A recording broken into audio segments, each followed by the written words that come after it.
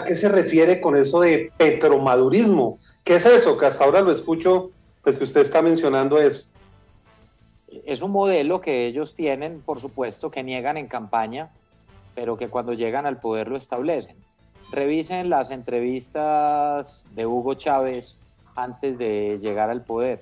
¿Qué decía? Que iba a trabajar con todo el mundo, que iba a respetar la prensa, que iba a respetar los derechos humanos, que iba a respetar la libre empresa y desde el primer día empezó a expropiar, a cerrar canales y a expulsar a su propio pueblo.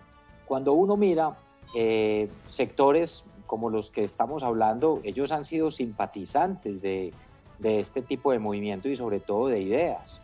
Y mire inclusive que mm, no son capaces ni de cuestionar la violación a los derechos humanos y tratan de hacerle creer a la opinión pública que tienen una división sustancial frente a estos proyectos, como te lo respondí a ti, Vicky, en la entrevista, eh, cuando decía que es que él no estaba de acuerdo en el tema del precio del petróleo, pero no fue capaz de, cuestionar eh, el manejo en el tema de derechos humanos, en el tema de la economía, en el tema de la pobreza, en cómo se volvieron en dictaduras ligadas a temas del narcotráfico. Eso sí, no.